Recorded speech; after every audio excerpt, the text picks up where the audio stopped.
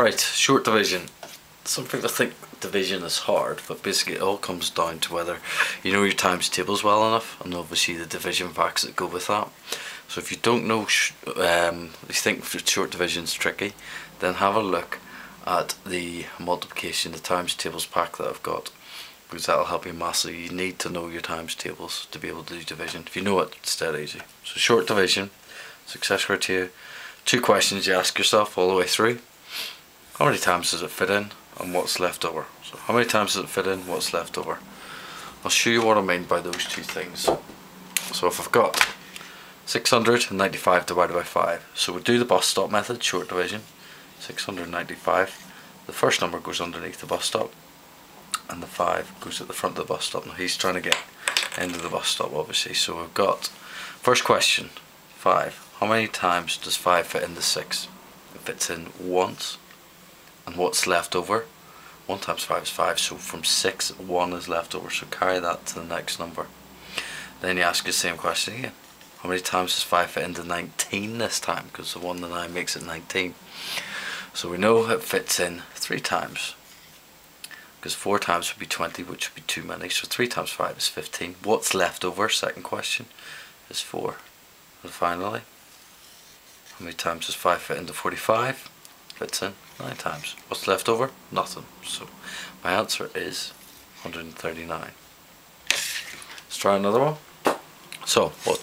How many times does it fit in? What's left over? So 2,316 divided by 4.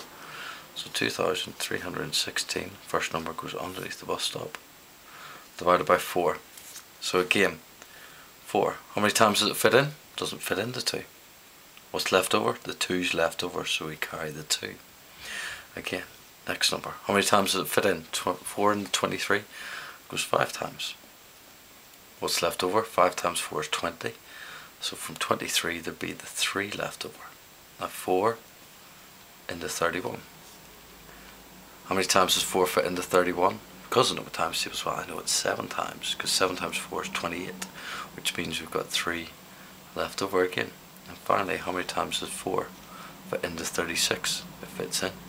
9 times with nothing left over. So my answer is 579.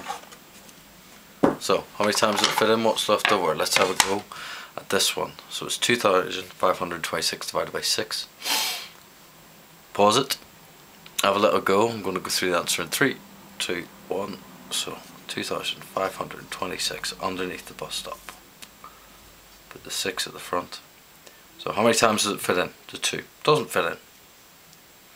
What's left over? Two's left over, so carry the two. Six, now into 25. How many times does it fit in? It fits in four times. Four times six is 24. And there's one left over from 25. Now, six into 12. How many times does six fit into 12? Six, 12 fits in two times. Nothing left over. Finally, six into six goes one time with nothing left over. So answer is one. Dump.